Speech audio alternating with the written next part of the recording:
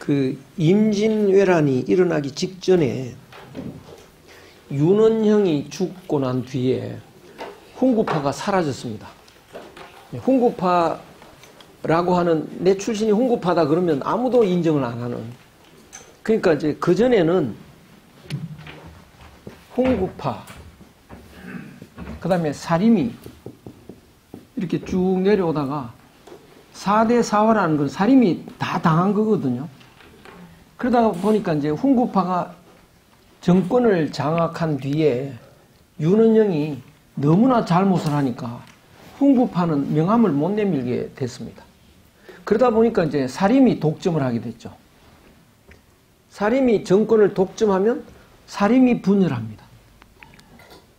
그러니까 사림 내부에서 이제 어떻게 분열이 되느냐 하면 원래의 사림은 그 수신의 뜻이 있는 사람인데 그 정치하고 싶은 사람도 사림에서 나올 수밖에 나옵니다. 그러니까 그 사림 중에도 이제 이 수양의 중심으로 수양 중심으로 공부하는 학자가 있다고 하면 그 제자들 중에는 과거 봐야지 이런 사람도 있거든요. 그래도 사람이 되는 게 우선이야 이런 사람도 있고 무슨 소리야 자원급제 해야지 과거에 급제해야지 이런 사람도 있습니다. 그래서 여기에서 이제 그 정치하고 싶은 사람 그냥 끝까지 수양을 계속하고 싶은 사람 이렇게 분류를 하면 정치하고 싶은 사람은 약간 사이비 사림에 해당되는데요. 그래서 사림이 정권을 독점하게 되니까 이 중에서 이 정치욕이 있는 사람들이 이제 주도를 하게 되는 이런 일이 일어납니다. 그러면 정치를 하고 싶은 사람들은 대개 율곡한테 가서 줄을 섭니다. 순수사림은 퇴계한테 줄을 서겠지만 그 순수사림 수가 그렇게 많지는 않습니다. 그래서 이제 율곡한테 줄을 서는데 임진왜란이 터졌습니다. 임진왜란은 이거는 뭐 우리나라 5천 년 역사 중에서 가장 그 끔찍한 사건인데 임진왜란이 터지니까 이제 그 병력을 길러야 된다고 끊임없이 말한 사람이 율곡이었습니다. 그러니까 율곡은 병조 판서를 했으니까 우리나라 군대가 이래 갖고는 외국에서 침략이 오면 침략 당하면 하루아침에 이건 무너진다. 그래서 그 병사를 길러야 된다. 그것이 꼭 일본이 침략한다 소리는 않고 주로 함경 북도 그쪽을 이제 방비를 튼튼히 해야 된다고 했지만 그러나 병력을 그 길러야 된다는 말을 수없이 했다고요. 율곡서행은. 근데 퇴계서행은 그렇게 말을 하지 않았습니다. 그리고 그 일, 물절 외사소 그 외국 왜 일본에서 사신이 오는데 기분 나쁘다고 거절을 하는데 율곡은 그 거절하지 마라 이렇게 이제 그런 소도 있고 그 다음에 그 퇴계 선생의 수제자격인 사람이 학봉 김성일인데 학봉 선생이 그 일본의 도요토미가 풍신수길이 편지가 왔습니다. 저 내년에 우리가 이 명나라를 칠, 치려고 하는데 어, 조선은 길을 빌려다오, 길을 내다오. 편지가 왔어요. 조정이 난리가 났죠. 그래서 그 황윤길, 김, 김성을 이렇게 보냅니다. 정말 그 쳐들어올 거냐. 그래서 황윤길은 쳐들어온다 그러고 이제 김성일은 안 쳐들어온다 그랬거든요. 그게 상당히 이제 전쟁이 실상 터졌으니까. 근데 그 제가 쭉 보니까 그게 벌써 당파 싸움 때문에 그렇게 됐다라고 이제 많이 정 대부분 사람들이 그렇게 정리했는데 그건 아닌 것 같아요. 김성일 선생은 당파 싸움할 성격이 없습니다. 그 퇴계수행 문화에 바로 그 수제자고 그런데 당과 싸움 안 합니다. 그런데 왜 안 쳐들어온다고 했을까? 그 판단 미스였습니다. 이거 저 이 일본에 가 보니까 완전히 이 야만인이고요. 사람들이 돌아보니까 인간 근처도 안 갖는 거예요. 그래서 거기서 아주 큰 소리를 너무 많이 칩니다. 이 학봉생은. 근데 황윤길은 거기 좀 그게 잘 비위를 맞추고 이랬더라고요. 그러니까 좀 오직한 거죠. 이분이. 근데 그 쳐들어온다 하더라도 이 우리나라의 뭐 부산이나 이런 데 와서 좀 깔짝거리다가 가겠지 이런 생각을 했지. 그때 우리가 그 시대에 우리가 살았다고 한번 가정해 보자고요. 일본이 명나라 친다 그러면 그거 믿겠습니까 그거? 아무 아무도 안 믿습니다. 그 미친 놈이 그 풍신수길이 헛소리 하는 거지. 그 명나라를 친다는 건 상상을 못 하죠. 그런 판국에 또 우리가 한 번도 전면적으로 공격받은 적은 없습니다. 그러니까 일본이 명나라를 치고 간다 그런 일 없습니다. 이렇게 말을 해버린 거라고요. 그것이. 근데 왜 김, 그, 김승희는 그걸 못 봤느냐. 오늘날 우리들도 거의 못 볼 겁니다. 예. 지금 여기 계신 분 중에도 이 국제 정세가 변하면 일본이 바로 쳐들어온다. 그렇게 믿, 믿고 계시는 분 거의 안 계시지 않겠습니까? 저는 믿습니다. 쳐들어옵니다. 예. 제일 먼저 바로 군함이 독도 앞바다 딱 올 겁니다. 차단하고 나올 겁니다. 국제 정세만 바뀌면. 지금도 저 우크라이나에게 쳐들어가는데 그 푸틴은 엄청 비난받지 않습니까? 근데 그게 비난 안 받고 뭐 그게 다 의뢰이 그렇다 이게 국제 정세인데요. 그런 분위기가 되면 바로 그 배가 군함이 오죠. 제가 그런 말 한다고 해서 에이 설마 되게 그럴 거라고요. 다 선생도 그랬습니다. 다 선생도 그 일본은 안 쳐들어온다고 그 일본문이라는 글이 있습니다. 다산에. 그 왜 일본이 안 쳐들어오냐? 과거에 무식하고 야만일 때 쳐들어왔지. 일본인들 글 보니까 이제 상당히 학식이 높고 이제 그 문화 수준이 높다는 거예요. 문화 수준이 그 정도인데 쳐들어올 일이 없다. 이렇게 다산이 판단을 했습니다. 근데 우리는 36년간 혹독해 당했거든요. 그런데도 또 쳐들어온다 그러면 설마 또 이런 생각을 하죠. 그 정도로 우리는 위기의식이 없는 사람들입니다. 근데 또 쳐들어온다고 그 저 일본 호사카, 호사카 유지 그 세종대 교수가 책을 냈지 않습니까? 일본에게 절대 당하지 마라. 또 쳐들어온다. 그 사람은 알죠. 일본의 그 속성을. 저도 알고요. 음. 그런데 우리들 또 쳐들어온다? 에이, 리가. 이런 생각이 일반화되어 있지 않습니까? 학봉생도 그랬던 거예요. 음. 그래서 쳐들어온다고 했는데, 안 쳐들어온다고 했는데, 그, 유서, 유승용 선생이 그러다가 쳐들어오면 어떡할래? 어떡할래?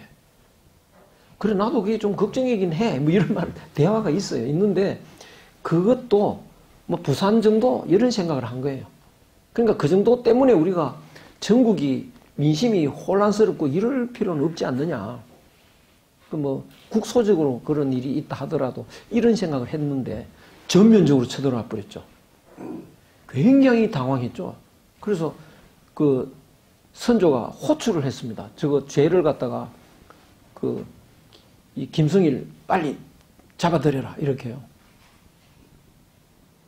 근데 그 호출 당하기 직전에 의병으로 나갔거든요. 그러면 싸우게 해라 이렇게 됐는데 의병으로 나가서 일본 외적 장군을 제일 먼저 친 사람이 그, 그, 그쪽 김성일 의병 그, 이 부하가 그걸 했습니다. 그리고 이제 진주에 가서 죽었는데 그, 어, 전염병이 걸려가지고요. 죽었는데 그 옆방에 자기 아들이 병 걸려 있고 이, 이 방엔 자기가 병 걸려 있었는데 나라 걱정만 하고 죽는 순간까지 아들 안부는 안 물어봅니다. 그리고 학봉생이 나주 목사를 한 적이 있어요. 나중에는 지금도 제사 지냅니다. 학봉 선생에 대해서요. 얼마나 정치를 잘했는지요. 그래서 당파 싸움 하는 사람이 아닌데 어쨌든 쳐들어 안 쳐들어온다고 했는데 쳐들어 왔으니까 율곡이 그 상대적으로 굉장히 부각이 됐습니다. 그러면서 사림이 분열하기 시작하는데 사림이 정권을 독점하면 그래서 정권을 독점하면 그 안에서 서로 또 하려고 다투더라고요. 그래서 사림이 분열해가지고 율곡 쪽으로 이제 줄을 서게 됩니다. 근데 이제 사림이 그 기본은 인, 인의 마음을 회복하는 건데요. 인의 그 구인, 득인 이게 목적인데 이는 하늘 마음이고 사랑하는 마음인데 정권을 잡으려고 하면 이제 싸워야 되잖아요. 싸워야 되면 인의 마음으로는 싸움이 안 됩니다. 의로운 마음 갖고도 싸움이 안 됩니다. 구체적으로 당신이 잘못이야 라고 꼬집으려면 얘가 얘를 안 지켰다고 이것밖에는 그 꾸짖을 수가 없어요. 그러니까 어른들이 젊은 애들 욕할 때도 이놈이 무례하다 이렇게 욕하는 거지 어질지 못하다 이렇게 욕은 못하죠. 구체적으로 예를 어겼을 때 꾸짖을 근덕지가 있다고요. 그래서 바로 예학이 나옵니다. 그 사림의 권력 장악과 학문적 분열 그런데 이제 사림이 변질하면서 바로 예학이 확 이렇게 발달이 됩니다. 그리고 예라는 건 실천을 이야기하는 건데요. 퇴계 선생, 율곡 선생 이런 분들이 그 이 학문을 거의 완성 단계까지 이렇게 이루었다 보니까 그 다음에 바로 어떻게 실천할 거냐. 인을 어떻게 실천할 거냐. 그 문제가 이제 확 다가오니까 예를 이제 연구할 수밖에 없습니다. 그래서 예학이 전국적으로 확 일어납니다. 그 대표가 김장생, 그 아들 김집, 이 두 분이 중심인데요. 두 분 다 광상김씨이고 성균관 문묘에 두 분이 다 그 종사됐습니다. 배양이 됐습니다. 그래서 우리나라 양반 중에 최고로 치는 양반이 광상김씨라고 광김이라 그러죠. 광김. 그, 그 문묘에 몇 사람이 배양됐냐 뭐 그것을 많이 따집니다. 그래서 이 사림이 변질하면서 예학이 발달하고 그 중심에 김장생, 사계 김장생 선생, 그 아들 김집, 그 신독재 선생 이런 분들이 이제 중심이 돼서 엄청난 예학을 그 정리하기 시작합니다. 그 제자가 우함 송시열 선생입니다. 그러니까 송시열 선생은 김장생 선생의 제자이면서 동시에 김집 선생의 제자이기도 하고 수제자이죠. 근데 우함이 어릴 때부터 흠모하는 사람은 주자였는데요. 주자, 그 주자는 우함에게 성인으로 받아들여졌습니다. 그 문장은 1페이지 한번 읽어보면 선생은 항상 말하기를 하는 말씀이 모두 옳은 분은 주자이고 하는 일이 모두 알맞게 되는 분도 주자이다. 만약 총명예지로서 온갖 이치를 모두 밝힌 사람이 아니면 기필코 이와 같을 수 없으니 주자는 성인이 아니겠는가? 주자의 은행을 이미 경험한 사람이라면 과감히 이행하고 의심하는 바가 없어야 한다. 이렇게 그 송치열은 주자를 띄웁니다. 그러다가 한 걸음 더 나가서 주자는 신이다. 이렇게까지 이제 신격화 시키기 시작하는 거죠. 그 신격화하는 이유는 있습니다. 그걸 이용하려고 할 때요. 내가 저 사람 이용해야겠다. 그럼 저 사람 최고다. 이렇게 나오는 거죠. 저 사람 당할 사람 없는 거야. 그래 놓고 그 사람 이용 가치가 있는 거죠. 그래서 주자를 그렇게 만듭니다. 그래 놓고는 주자를 제일 많이 개성한 사람이 율곡이고 율곡의 수제자가 사계고 사계 김장생 사계 김장생의 수제자가 자기다. 그러면 어떻게 되나요? 주자가 신일수록 유리하죠. 내가 그 적통이다 이렇게 되니까요. 그러면 어떻게 되느냐? 우리나라는 주자학이 이제 정치 이념으로 되어 있는 나라인데 그 주자의 주자가 신, 신 같은 존재인데 그 제자 제자 제자의 적통이 나다 그러면 내가 최고죠. 그래서 우암이 그 권력을 장악하는 그 방법입니다. 근데 거기에 걸림돌이 있다고요. 아무리 율곡이 주저하게 대가라고 아무리 내세워도 사람들이 안 믿습니다. 예, 바로 퇴계 때문이죠. 퇴계. 그런데 퇴계를 공격하기 위해서 이제 퇴계 이발설이 틀렸다. 율곡이 틀렸다고 했다. 그래서 이제 그거를 퇴계를 공격하는 하나의 무기로 삼았는데 그 우함이 그걸 그대로 써먹죠.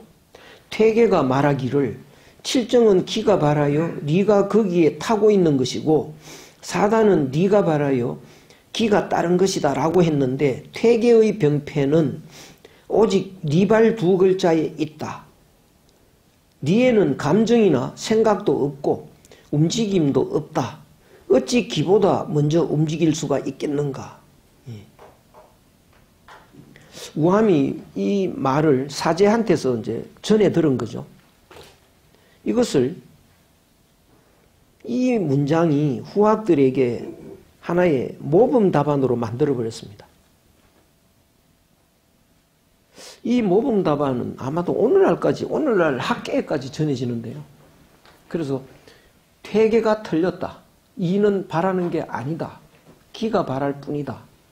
이것이 하나의 모범 답안이라서 그 뒤로 그 퇴계의 이발설의 그 영향을 받은 사람들은 과거 시험에 거의 다 낙방을 합니다.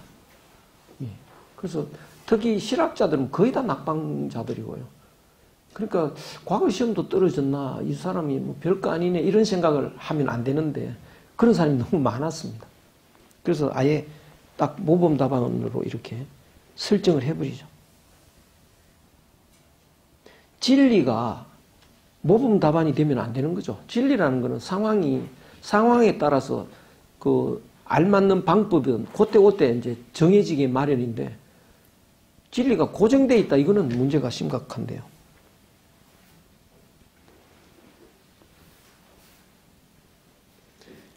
우함이 모범 답안을 작성하기 위해서 아무리 노력해도 여전히 걸림돌이 있습니다. 그것이 뭐냐면 사단은 니에서 바란 것이다 라고 한 주자의 말입니다. 그러니까 권력을 독점하려면 태계를 쳐야 되는데 태계를 치려면 이발을 치는데 쳐야 되는데 주자한테 이발이라는 말이 있다는 거예요. 딱 한 구절 있습니다. 그러니까 이게 정권을 독점하는데 상당히 제일 이제 문제점이 되는 거죠. 그래서 우함은 주자의 말뜻을 다음과 같이 설명을 합니다. 주자 의류에서 말했다. 칠정은 기가 바란 것이고 사단은 네가 바란 것이다. 태계가 평생 주력한 것이 이에 있다. 그래서 네가 바라여 기가 따른 것이라고 하는 학설이 나왔다.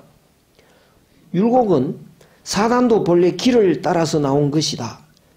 그러나 기에 가려지지 않고 바르게 나온 것이므로 네가 바란 것이라고 했다. 예. 그러니까 기도 니도 원래는 길을 따라서 나온 것일 뿐인데 기에 안 가려졌기 때문에 네가 바란 것 내용적으로는 뭐 네가 바란 것이라고 할 수 있는데 칠정에도 본래 네가 올라타고 있다. 그러나 기에 가려진 바가 있으므로 기가 바란 것이라고 했다. 마땅히 잘 살펴봐야 할 거다. 예. 그러니까 주자의 칠정은 기가 바란 것이고 사단은 네가 바란 것이다. 요 말이 있으니까 이 말 때문에 그 퇴계를 전면적으로 공격하기가 이제 어렵게 돼버렸죠. 그래서 퇴계는 그 주자의 이 말을 잘 참고해가지고 그 기가 바라고 네가 타고 있는 것이라 하더라도 기에 가려지지 않았기 때문에 그걸 그냥 네가 바란 것이다 이렇게 태계는 말을 했다 이렇게 이제 정리를 한 겁니다.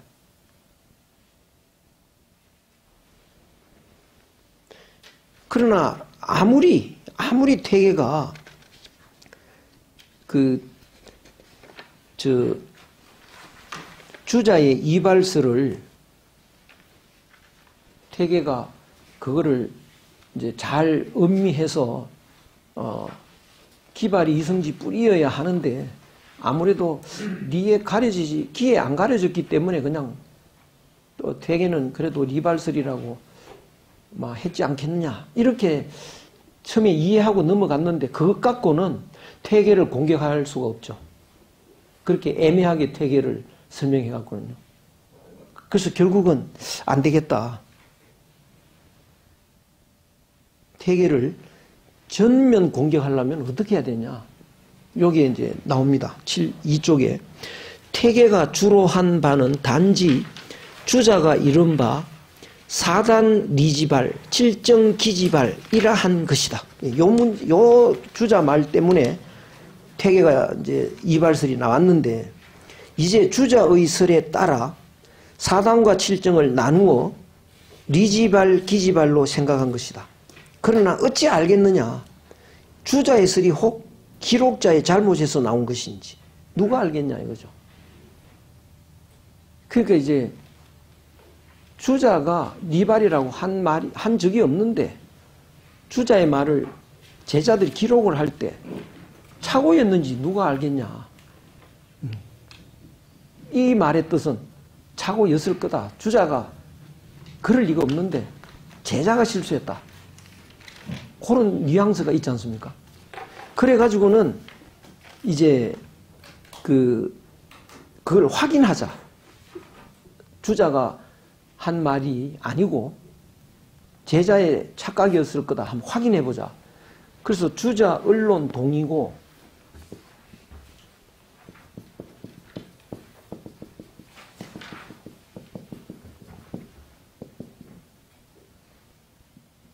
동, 이, 코가 이거든가? 고자가? 이걸 좀 봐야 되겠는데. 주자 언론 동의고라는 책을 쓰기 시작합니다. 이거는 결론을 내놓고 쓰는 거죠.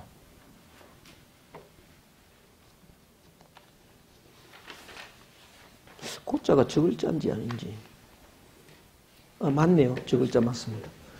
어, 이 글자가, 고자가 이거네요. 어? 가만있어 보자.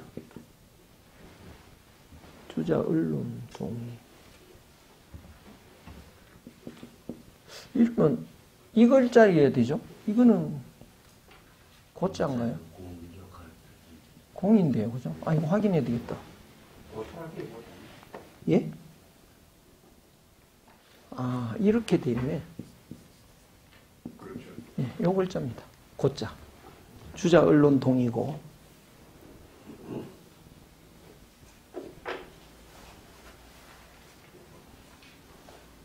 그래서 이 주자 언론 동의고라는 연구는 주자가 한 말이 아닐 거다라는 전제를 확인하기 위한 결론을 내놓고 한 연구죠. 근데 그 죽을 때까지 결론을 못 내고 수제자 권상아한테로 그 사업이 이어졌는데 또 완성을 못하고 손자 제자 한원진한테로 가가지고요. 이제 결론을 냅니다. 예. 그 거기에 제가 이쪽에 호람 논쟁의 전개 거기에다가 그 환원진의 말인데요. 환원진이 어떻게 결론을 내느냐 하면 뒷날 호발설을 주장하는 사람은 다 주자 의류의 기록을 증거로 삼는다. 그러나 이 기록에 대해서는 생각해 봐야 할 것이 있다. 사단 칠정을 논한 주자의 설명은 역시 잘 갖추어져 있다. 주자의 경전 주해 문집 대전을 두루 살펴보니 주자가 손수 기록한 것에는 이와 유사한 설명이 한마디도 없다. 그러므로 주자의 이 설은 기록자의 오류임에 틀림없다. 이렇게 결론을 냈다고요. 음. 그러니까 주자가 기록한 문장에는 이런 말이 없는데 주자 의류라는 책은 주자 의류라는 책은 주자의 말씀을 제자들이 기록한 거거든요. 거기에 딱 이 말이 하나 있다.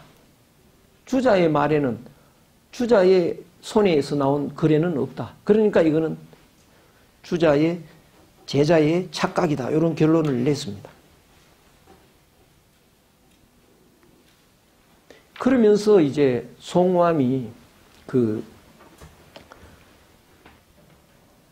이 효종 때 등장을 해서 그 효종의 할머니 상을 당하고 또 대, 왕비가 상당하고 뭐 상을 여러 번 당했습니다. 그거. 그때 상을 3년을 입어야 되느냐, 왕은 1년을 입어야 되느냐, 9개월 입어야 되느냐, 이걸 갖고 집요하게 싸웁니다. 그래서 그 예송이라고 해가지고요. 그래서 예송 과정을 통해서 좀 그 논리적으로 송시열이 좀 안 맞는 주장을 하면서도 억지로 밀고 나가서 정권을 장악을 합니다. 그래서 효종 때 그 우암이 이제 완전히 정권을 장악을 해버리죠.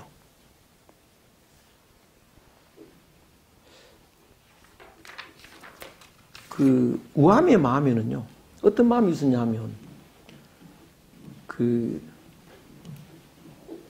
공자는 애공의 제자 참 신하였죠. 노나라에 노나라의 애공의 신하가 공자입니다. 예, 공자. 그러면 애공하고 공자하고 누가 더 인간적으로 누가 더 위에 있어야 되나요? 애공이 그 우리들 평가에는 애공이 더 위에 있는 사람이어야 됩니까? 공자가 더 위에 있어야 되나요? 응? 애공을 더 숭배합니까? 그러니까 요 당시는 이건 임금이고 신한데 오늘날 우리들은 누굴 더 높이 평가하냐 이거죠. 당연히 공자죠. 그러면 인간적인 가치 기준에서 보면 누가 더 위에 있냐 이거지. 공자가 위에 있는 거죠. 그래서 공자는 후대의 황제로 추대되는 거죠. 그 논리에 의해서 우암과 효종이라는 왕 중에 누가 더 위, 위에 있냐 이거지. 인격적으로. 그러니까 자기가 더 위라는 의식을 갖고 있습니다. 음.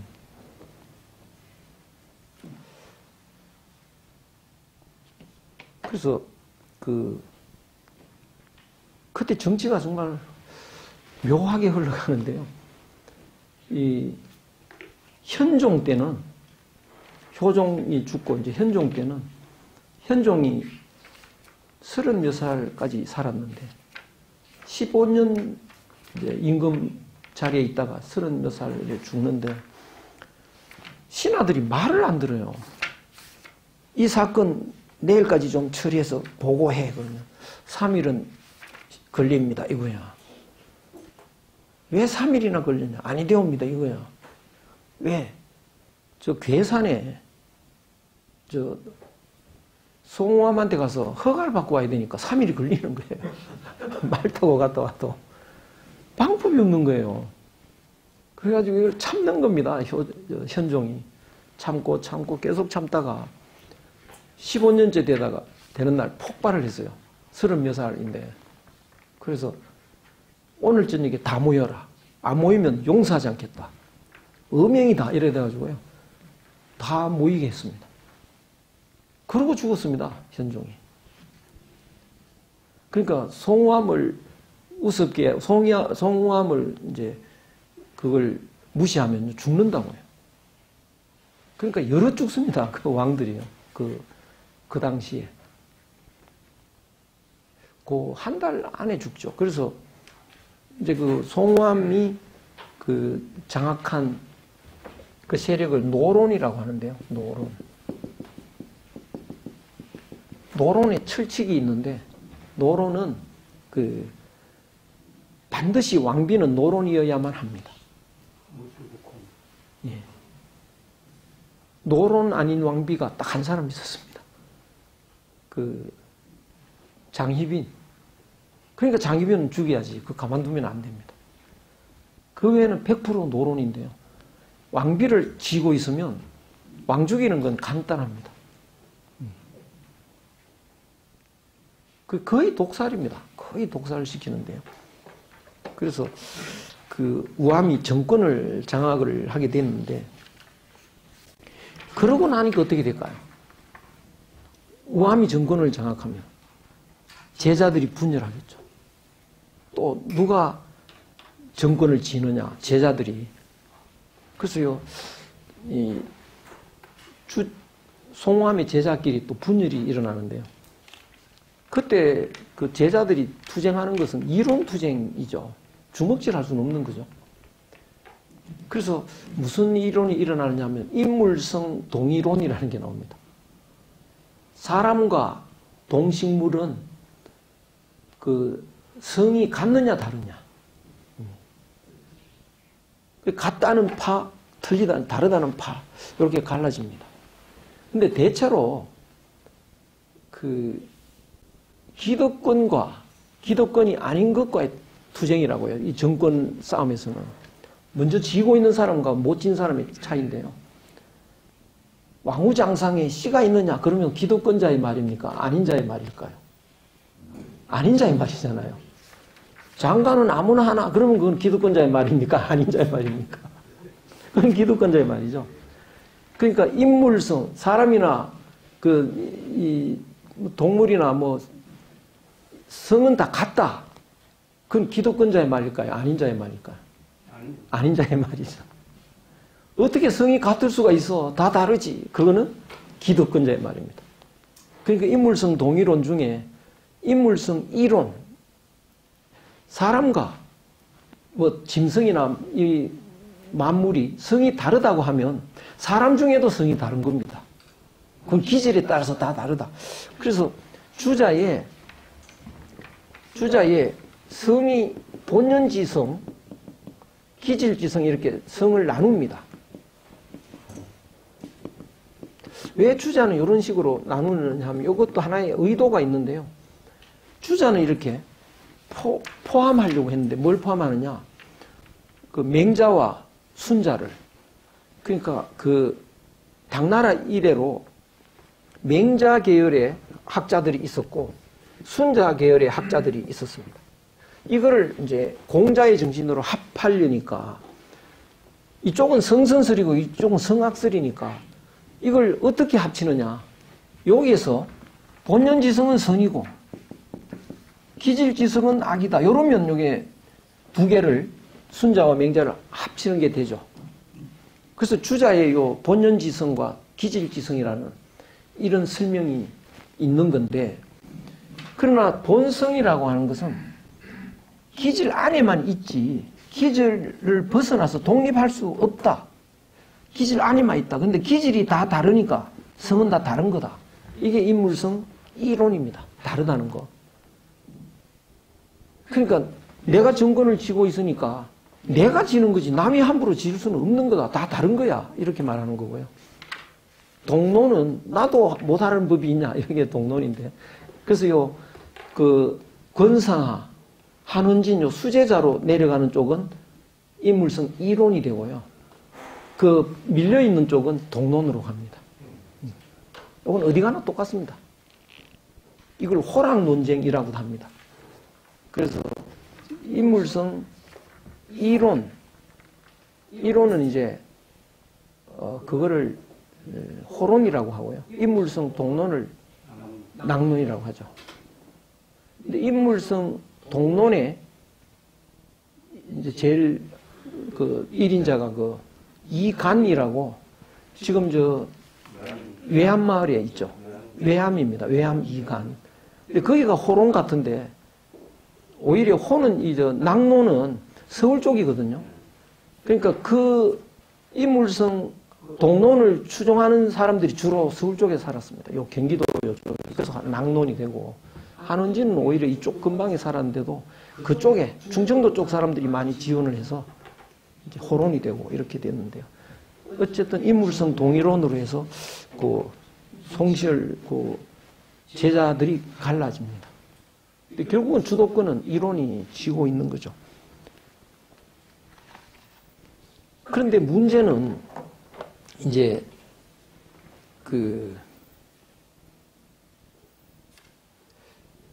이 사이 그저 순수한 살림이 아닌 사람이 정치 욕심을 가지고 정권을 장악해서 독점을 하니까 사리 사욕을 마음대로 추구하고요. 그래서 욕심 채우는 겁니다. 정치하고 싶은 사람도 오늘날도 정치하고 싶은 사람이 이렇게 쫙 분류하면 욕심 채우고 싶은 사람이 있고 또 순수하게 국가와 민족을 위해서 뭐 이런 사람도 있을 수 있겠죠. 그런데 대통령까지 한 사람이 왜 그렇게 돈을 챙기고 그랬을까? 그 이해가 안 가죠, 보통 사람은. 근데 그거 챙기려고 되는데, 뭐, 그렇죠. 욕심 채우려고 되는 그 출마하고 그렇거든요. 그래서 그 욕심을 채우고 싶어서 하는 사람하고 그렇지 않은 사람으로 나누어지는 건데 이 노론 중심의 그 정권을 장악한 사람들이 자기 그 일파들의 욕심을 채우기 위해서 나라가 뒷전이 됐습니다. 그러니까 나라가 엉망이 된 거죠. 그러니까 거기에 반기를 들고 나오는 사람이 이제 줄줄이 있는데요. 제일 먼저 등장하는 사람이 이쪽에 보면 반주자학의 등장 이렇게 나옵니다. 반주자학. 주자학을 반격하는 왜 그러냐? 그 이 송시열이 정권에 집권하는 무기가 주자학이었거든요. 그러니까 주자학을 비판하는 이제 세력이 등장을 하는데 첫 번째는 주자 정신의 반주자. 이게 무슨 소리냐면 주자 정신을 가지고 반주작을 한다는 거죠. 무슨 소리냐?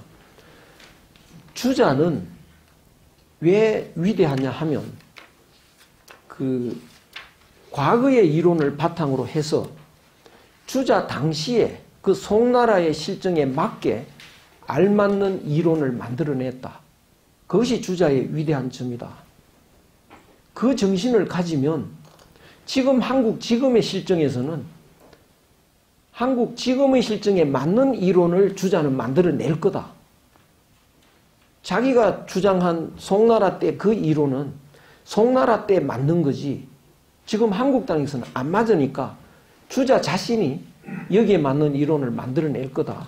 근데 여기에 맞는 이론은 그때 고정된 주자학 내용하고는 다르단 말이죠. 주자학은 그걸, 주자는 그걸 택할 거다. 지금 살아 있다면. 그 정신으로 나는 주자학과 다른 걸 주장한다. 이렇게 들고 나온다고요. 나는 주자를 비판한다 그러면 바로 이건 날아가니까 그렇게 이제 또 말은 맞습니다 그 말이 그래서 그 주자의 정신으로 오늘에 맞는 주자학과 다른 이론을 만들어낸다 첫 번째가 허목이라는 사람 허미수 윤휴 예, 윤백호 박세당 이 세 분들이 서계 박세당 이분들이 이제 그런 그 정신으로 새로운 그 이론들을 만들어냈죠. 근데 여지없이 사문난적으로 몰리는 거죠. 사문난적이라는 것은 주자학을 반대하면 다 걸리는 죄입니다, 그거. 근데 주자학, 주자 정신이고 뭐가 아니 주자학 그 자체는 한 글자도 건드리면 안 되고요. 주자의 행동을 하나라도 건드리면 안 돼. 그냥 신격화 시켜놓고 그것을 반대하면 이제 뭐라 몰아치는 거죠. 그래서 이 주자 정신의 반주자학자들이 사문난적에 걸려서 희생을 당합니다. 그 다음에 누가 등장하느냐? 주자학을 공격하기 위해서 양명학이 들어옵니다. 양명학. 근데 양명학은 사실은 한국 사람한테는 더 맞습니다. 양명학이요. 주자학보다. 근데 왜 그 주자학보다 양, 그 양명학보다 주자학이 더 발달했느냐? 퇴계 선생에 의해서 양명학 이상의 간단하고 편리한 이론을 이미 만들었습니다. 그러니까 굳이 양명학이 필요 없는데요. 양명학은 주로 어떤 이론이냐. 주작하고 같은 이론인데 여기서 이 산의 정상을 올라간다. 여기가 진리라고 하면 주자는 여기서 올라가는 제일 아래에서 올라가는 이론을 만들었습니다.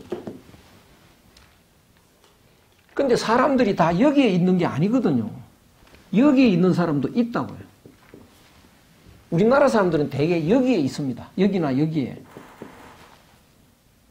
근데 주자학은 여기서 출발하니까 어떻게 출발하느냐? 내한테는 하늘 마음이 안 보인다는 겁니다. 출발점에서. 하늘 마음을 회복하려면 하늘 마음을 알아야 회복할 수 있는데요. 어떻게 알 수 있느냐? 앞만 봐도 안 보여. 그러니까 이제 다른 데 가서 다른 것을 연구해서 모든 존재에는 하늘 마음이 있을 거다. 그래서 그 하늘 마음을 찾아보자. 내한테서 안 보이니까. 어떻게 찾느냐? 공통점을 찾아보면 된다. 그건 하늘, 공, 하늘 마음은 다 공통적으로 있으니까. 그것이 경물치지라는 거죠. 음. 그래서 오늘 대나무에 가서 종일 조사해 보니까 대에 뭐 리가 있다. 내일도 또 대, 했더니 또 대나무에 리가 있다. 그게 같더라. 뭐 이런 식인데 꼭 대나무가 아니고 뭐 예컨대 뭐 개구리를 조사해 보니까 밤새 울더라. 왜 우느냐? 연애하는 거다. 뻐꾸기는 밤새 뻐꾸기 뻐꾸고 하더라. 왜 그러냐? 연애하는 거다. 계속 조사해 보니까 모든 만물은 연애한다. 이게 공통점이다. 이게 하늘 마음이다. 이런 식으로 이제 찾아내는 거라고요. 그래서 다른 경물, 다른 것을 조, 조사해서 공통점을 찾아내면 내 속에도 그런 게 있을 거다. 그래서 그것을, 그것이 내 본성이다. 그걸 붙잡자. 이런 방법인데, 여기 있는 사람은요, 자기 마음을 들여다보면 하늘 마음이 보입니다. 양심이 보인다고요. 한국 사람 되게 그렇습니다. 양심도 없는 놈 그러면 성질 내거든요. 자기한테 양심이 있다는 걸 다 알고 있습니다. 근데 일본인이나 이런 사람한테 양심도 없는 놈 그러면 의아해합니다. 양심이 뭔지 모르니까요. 죄가 무슨 소리 하나 이런데 우리는 성질 낸다고요. 다 자기 양심이 있다는 걸 알고 있어요. 그러니까 경물치지 할 필요가 없는 겁니다. 뭐 저기 가서 조사 안 해도 마음을 들여다보면 오 여기 양심도 있고 여기 욕심도 있다. 그러면 욕심만 없애고 양심만 붙잡으면 되잖아. 경물치지 할 필요 없는 거죠. 그런데 주자학은 경물치지부터 시작하니까 양명이 대밭에 가서 종일 대를 보고 그 다음날 와서 또 종일 대를 보고 똑같은 이치가 뭐냐 이러다가 병이 나가지고요. 한 달인가 두 달 그러다가 병이 났어요. 예? 일주일인가? 하여간 병이 났어요. 그래가지고 포기하고 왔다 갔다 이제 공부를 못하고 시달리다가 어느 날 저 원래 또 장군이었어요. 또 그죠? 양명이 용장이라는 저 전쟁터 가는 어느 길인데 거기 여관에서 새벽에 깨달아 버렸습니다. 뭘 깨달았냐? 경물이 그런 뜻이 아니었다. 경물이 뭐냐? 격은 정자가 정. 나아갈 격해서 물에 나아간다라고 해석을 했는데 그게 아니었다. 물을 바로 하는 거다. 만물을 바로 하는 거다. 어떻게 만물을 바로 잡는 거냐?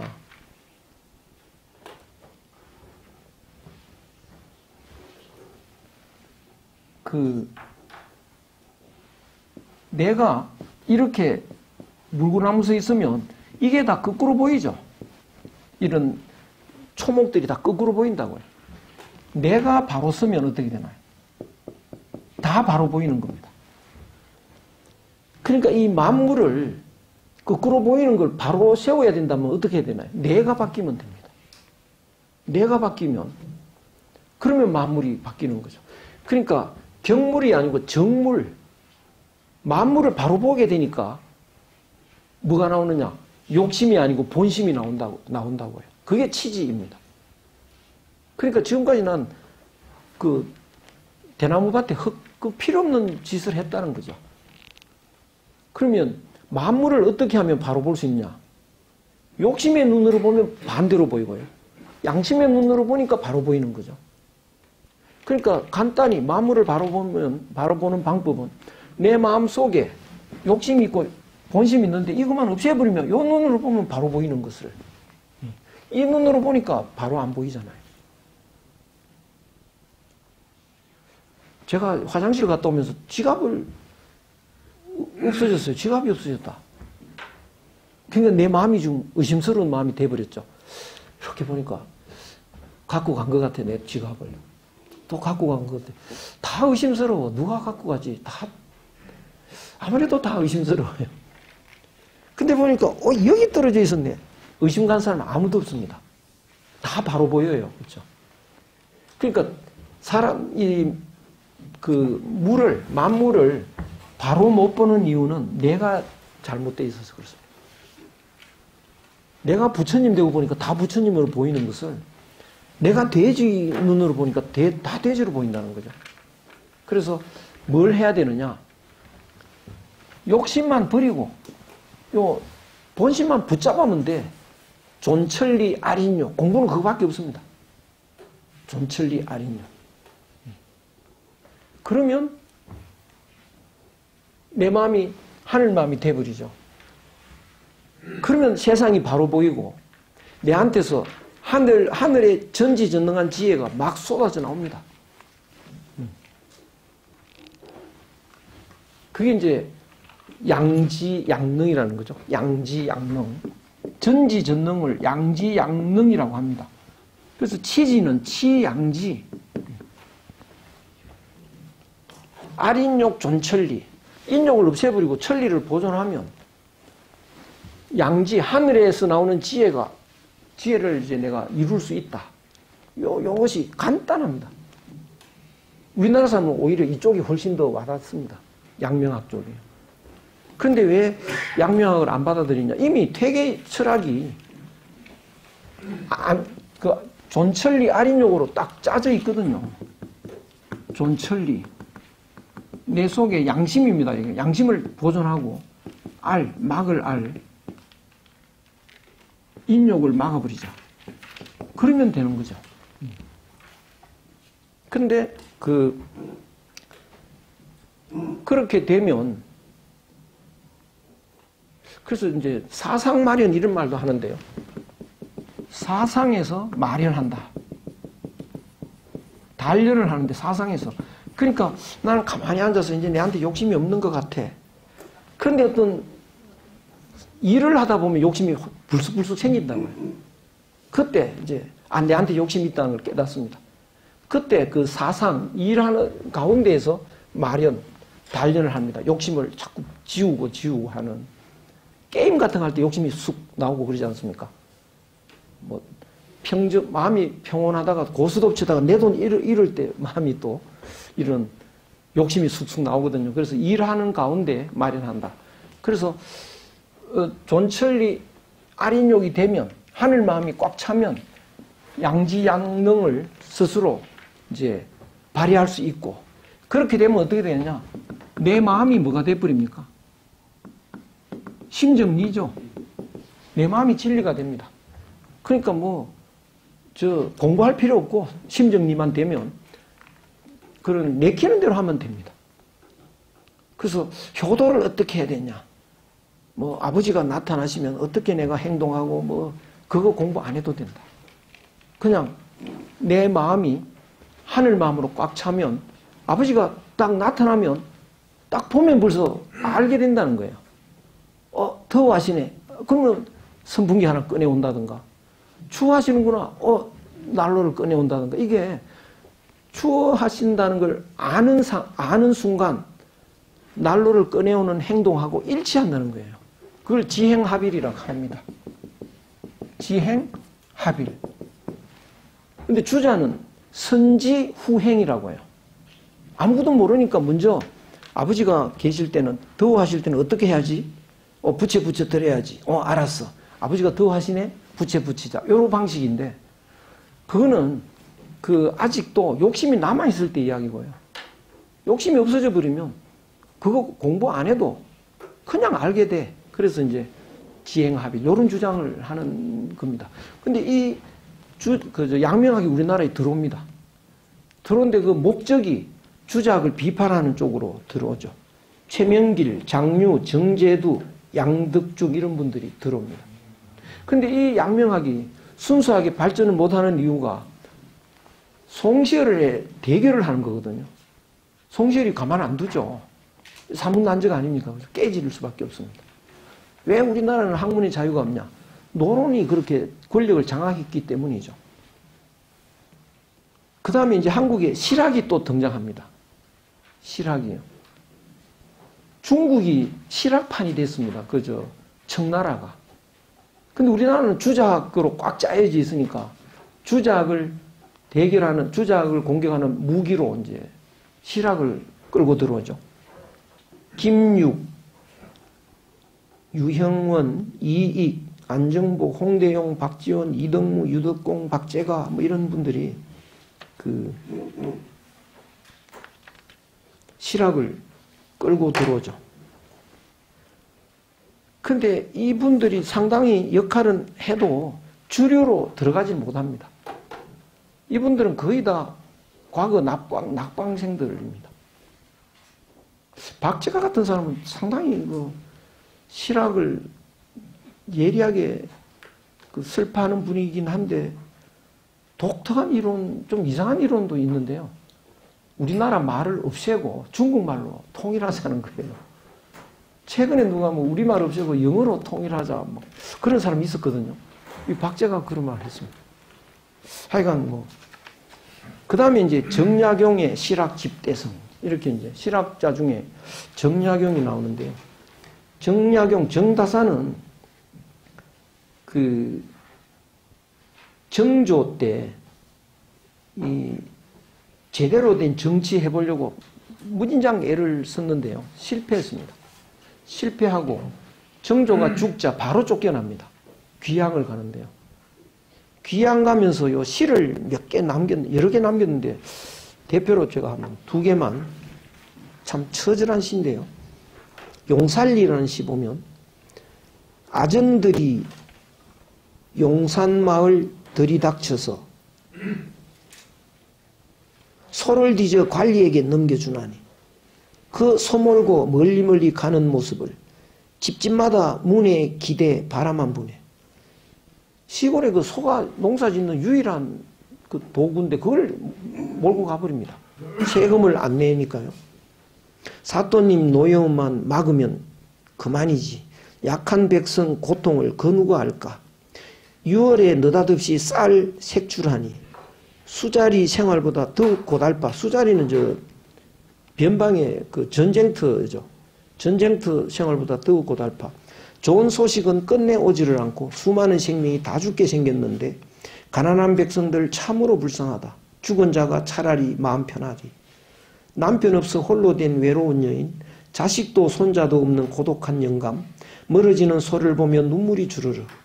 떨어지는 눈물이 옷깃을 다 적시네.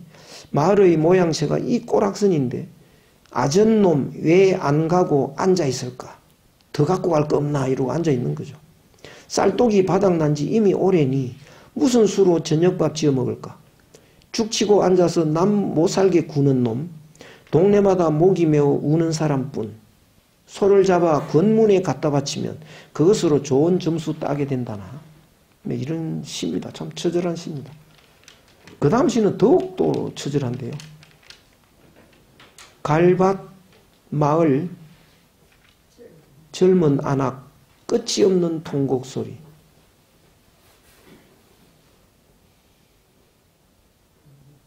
현문 보고 통곡하고 하늘에다 울부짖네. 전쟁 나간 지아비가 못 돌아올 순 있어도 약물을 잘랐단 말 들어본 적 아예 없어. 그러면서 이게 옆으로 읽어야 되나요?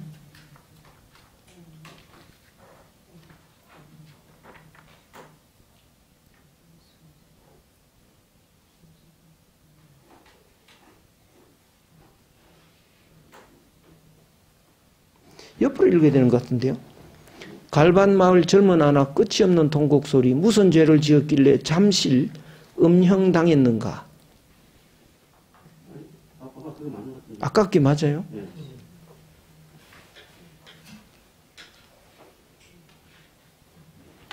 그 약물을 잘랐다는 말 들어본 적 아예 없어. 이게 무슨 소리냐면 그 저 이제 어떤 장정이 있었는데 자기 아버지 돌아가시고 자기가 이제 장정인데 자기 꼬마 요만한 아이가 있어요. 근데 돌아가신 아버지도 살아있는 것으로 위장돼 가지고 그 군인세 내고 자기도 군인세 내고 자기 아이도 이게 어린 요만한 애인데도 이제 장정 그 군인으로서 세를 또 받아갑니다. 그러니까 세 사람 세를 받아가니까 요, 요 애가 원수인 거죠. 애 때문에 이제 세금 뺏기니까. 요 애를 누가 만들었냐? 요 놈이 만들었다. 그래서 방에 가서 잘라버렸습니다. 그러니까 뭐, 온 방에 피가 막 흥건하고 이런데, 그래서 약물이라는 게 그, 그거죠. 어, 어른 고추인데요. 약물을 잘랐단 말 들어본 적 아예 없다. 지금까지 그런 말은 내가 못 들어봤다. 시아버지 상당했고, 아이는 아직 피덩인데, 아버지, 아들, 손자가 군적에 다 올라 있습니다. 달려가서 호소해도 문지기가 호랑이라 아정이, 이정이 어르렁대며 마구간 소 몰고 가고 칼을 갈아 방에 들자 자리에는 피가 가득 자식 낳고 낳은 그 물건이 한이 되어 그랬다네. 무슨 죄를 지었길래 잠실 음령 당했는가? 음형이라는 게 이제 그 거세하는 형벌인데요. 민땅 자식 거세한 것도 참으로 슬픈 것을 자식 낳고 또 낳은 하늘이 주신 이지. 하늘 닮아 아들 되고 땅 닮아 딸이 되지. 불간 말, 불간 돼지도 서럽다 할 것인데 부호들은 부자들은 1년 내내 풍악을 두드리며 나달 한 톨 비단 한 치 안 바치고 사는데 똑같은 우리 백성 왜 그리도 차별할까? 객창에서 그덕그덕 19편을 외워보네. 이 식구라는 시는요. 시구라는 시는 이게 뻐꾸기라는 시인데 그 이렇게 억울할 때 이 이 시를 외우고 있습니다. 이 다산이 이 시를 왜, 왜 외우느냐? 이거는 이제 뽕나무 위 뻐꾸기 일곱 마리 새끼 있네. 멋쟁이 우리님은 그 거동이 한결같아. 그 님을 생각하는 겁니다. 이 님은 누구냐? 정조죠. 정조. 정조를 그리워하는 거죠. 정조가 있었으면 이렇게는 안 됐을 텐데 뭐 이런 마지막 그 시에 보면 나라 사람 구했으니 만수무강하시야지. 그러니까 정조한테 넋두리 하는 겁니다. 만수무강하셔야지. 이 백성 두고 어떻게 그래 혼자 가버렸냐. 막 이런 넋두리를 하면서 그냥 눈물 눈물바다입니다. 이 저 다산이에요. 그래서 다산이 이래서는 안 되겠다. 이 백성이 이렇게 지옥이 돼서 살 수 있겠느냐? 그럼 어떻게 되느냐? 그 노론을 몰아내는 수밖에 없죠. 정권 가진 사람들을. 근데 노론이 무기로 삼는 게 있습니다. 요지부동의 무기. 주작이죠. 주작을 깨부시자. 다른 방법이 없다. 그래서 그 강진에 가서요.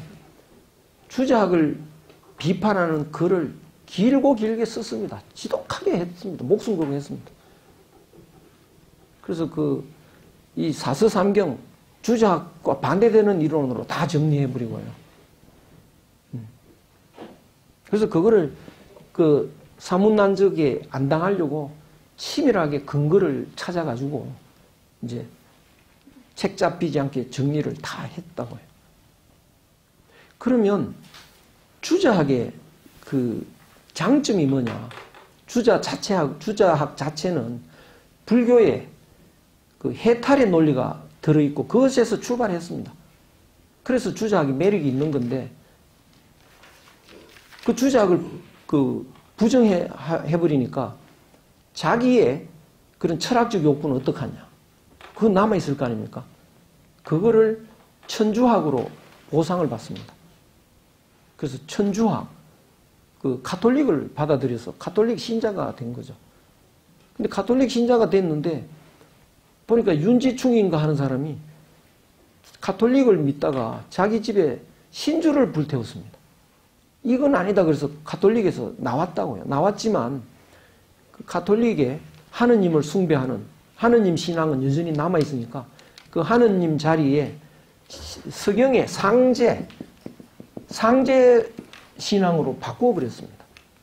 그래서 이 다사는 이제 상제를 예, 서경에 나오는 상제를 신앙하는 쪽으로 마음으로 그렇게 이제 자기 개인적인 신앙 생활을 하게 된 것이죠. 그러다 보니까 주작의 기본을 이제 이렇게 바꾸다 보니까 어떻게 특징이 뭐냐?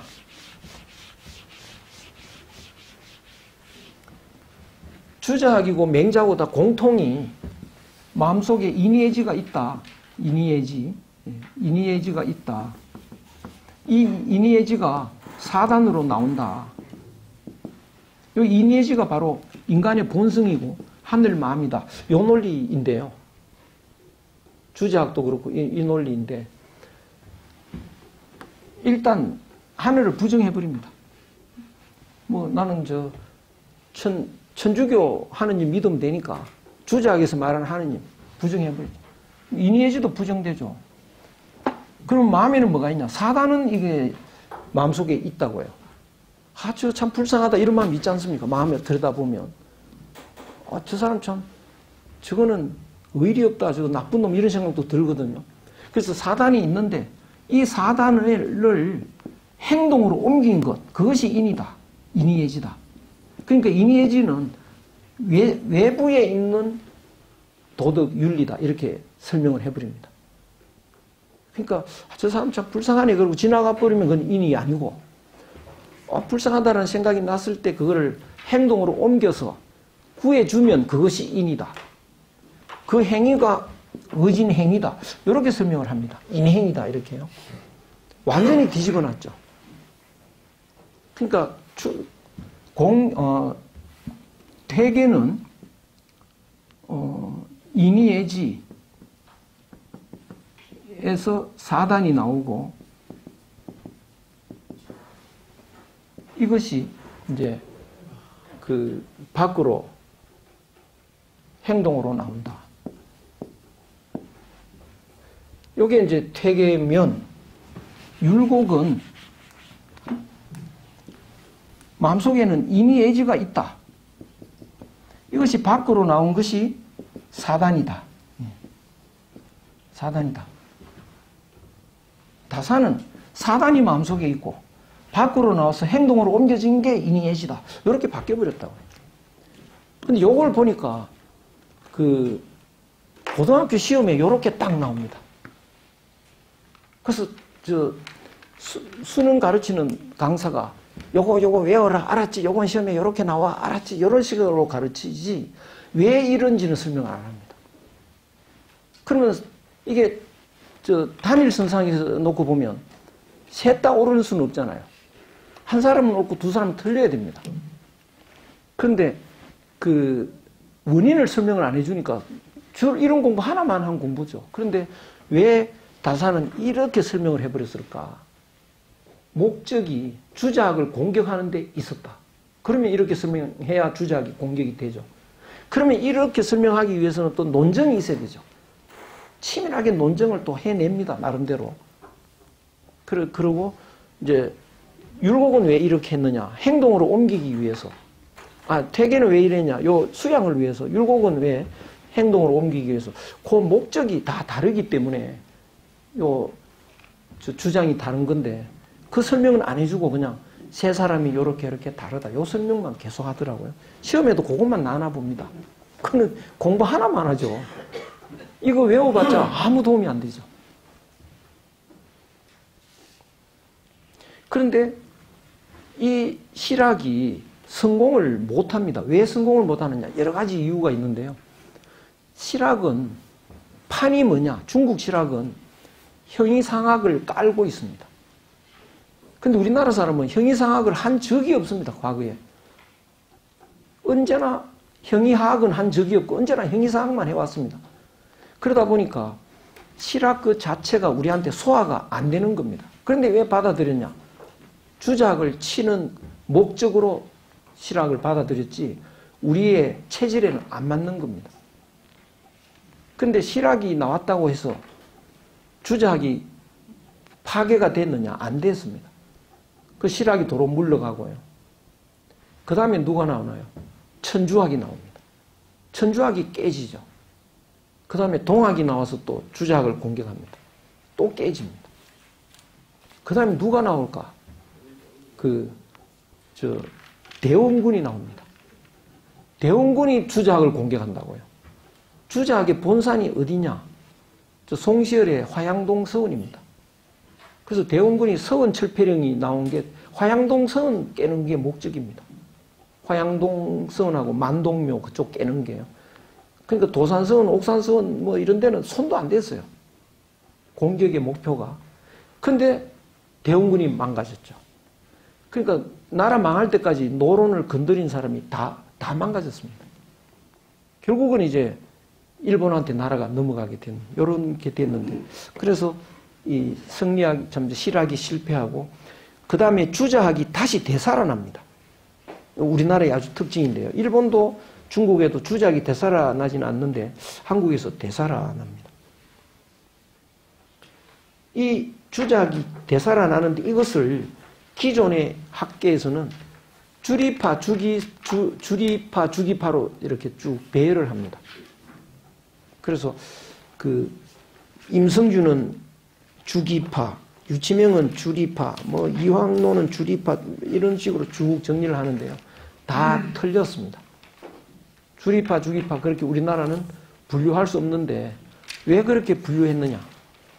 일제 때 다카시 도루라는 사람이 한국을 분열시킬 목적으로 태계와 태계와 율곡을 분리시키고 태계를 주리파 이 율곡을 주기파 이렇게 분리한 뒤에 한국 실학 저 한국 주제학자들을 주리파, 주리, 주기파 이렇게 쭉 2분으로 나누어서 정리한 논문이 있습니다.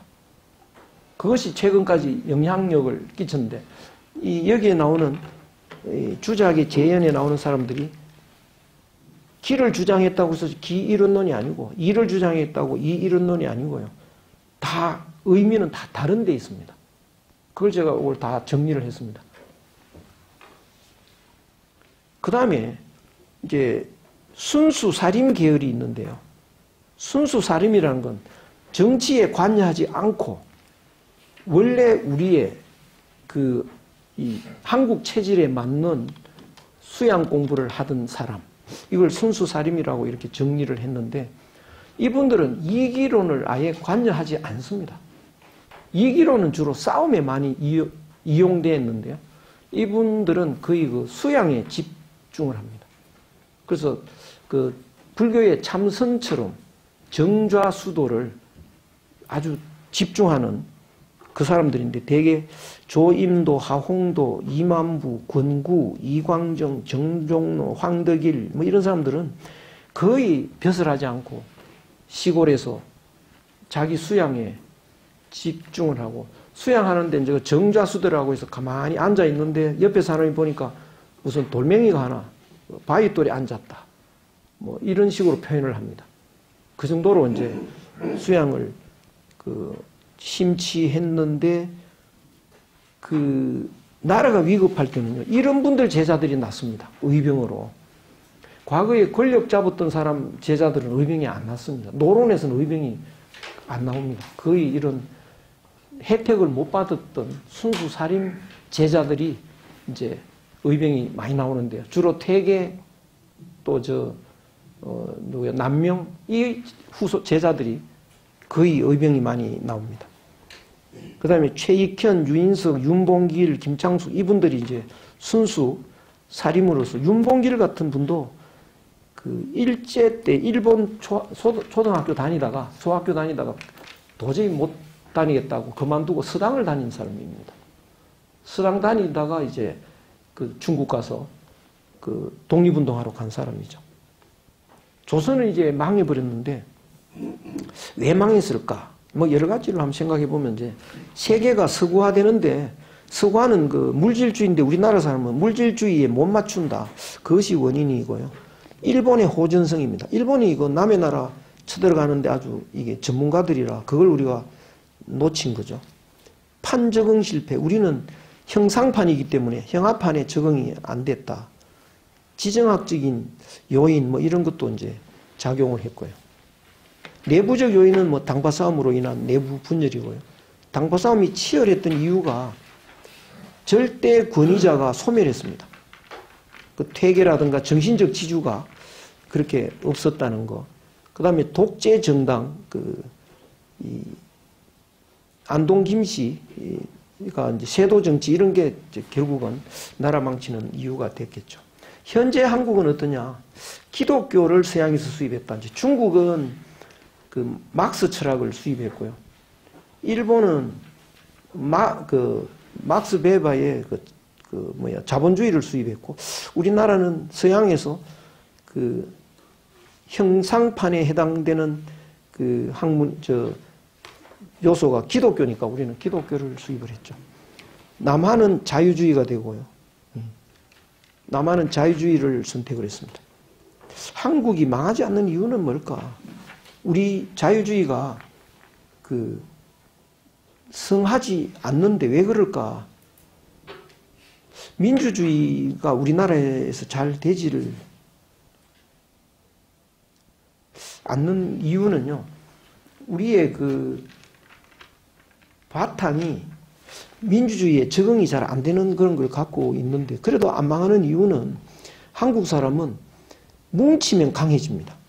그래서 그 새마을 운동 이럴 때 엄청나게 뭉쳐서 희생을 했습니다. 국가를 위해서 사우디 가서 희생하고 독일 가서 희생하고 또 저는 저 언니들이 공장 가서 일해서 동생한테 학비 내주고 이런 정신으로 이제 지금까지 이렇게 부강해져 왔는 거죠.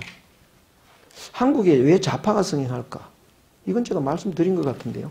우리나라 사람이 아주 그 안 좋은 게 뭐냐? 그 네가 네 돈은 내 돈이다 이거. 그래서 돈 많은 사람을 보면 배가 아프다. 내가 돈 많아야지 왜 네가 돈 많냐? 거기에 편성을 한 게 막스 철학입니다. 돈 많은 사람을 보면 배 아파 죽겠는데 어, 저 사람 돈 많죠? 왜 많습니다. 우리 돈인데 저 사람 갖고 있잖아. 그 빼앗아서 우리 나눠서 가져야 돼. 안 그래도 배 아픈데 불 붙을 수 있는 요지가 있죠. 그런데 좌파가 실패하는 이유는 뭐냐? 바탕이 우리하고 다릅니다. 우리는 형합판의 철학이 안 맞습니다. 근본적으로. 그래서 한국에서는 실패할 수밖에 없다. 이렇게. 북한의 공산주의는 왜 성공을 했냐? 성공이라고는 할 수 없지만 왜 아직까지 안 망하고 그렇게 있느냐?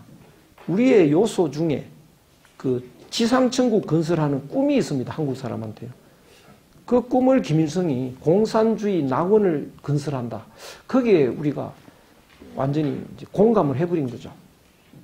그것이 북한이 유력, 강력해진 이유 중에 하나인데 북한 공산주의는 실패할 수밖에 없다. 역시 한국인은 그 형합판하고는 맞지 않는다. 그래서 공산주의라는 그판 자체가 형합판이다. 형이상학적인 물질주의를 깔고 있다. 그것이 우리한테 안 맞을 거다. 그 다음에 유학의 쇠퇴. 유학이 왜 지금 이렇게 됐냐? 망국의 원인이 유학이다. 이런 인식이 일반대, 일반적이고, 서구의 교육이 영향을 받았습니다. 서구에서 교육은 물질주의의 서구 합리주의 교육이고, 여기에 유학이 끼어들 수가 없습니다. 한국 유학은 어떤 역할을 해야 되느냐? 이제 그 여러 가지 그 장점을 잘 찾아내 가지고 우리가 한 마음을 회복하는 인을 회복하면요.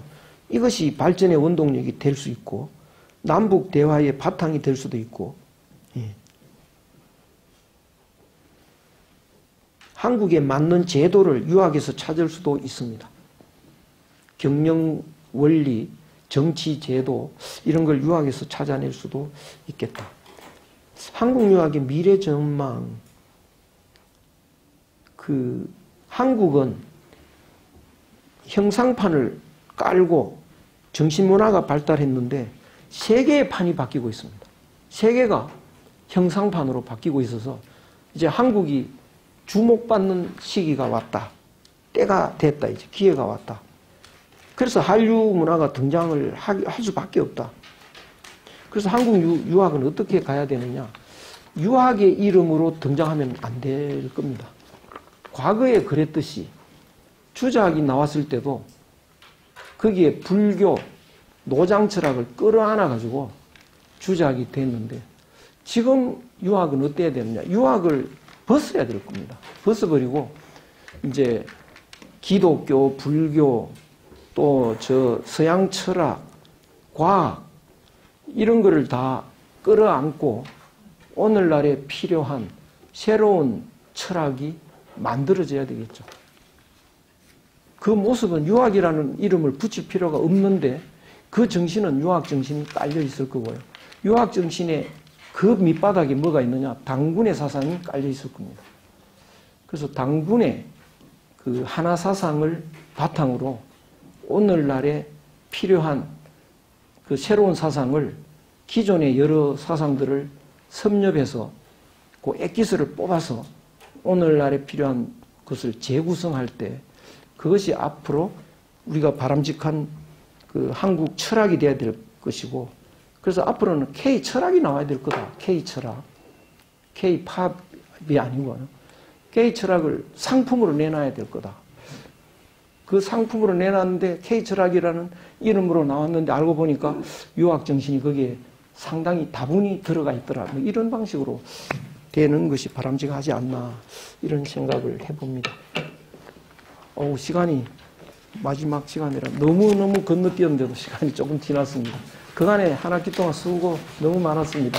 아유 고맙습니다. 네.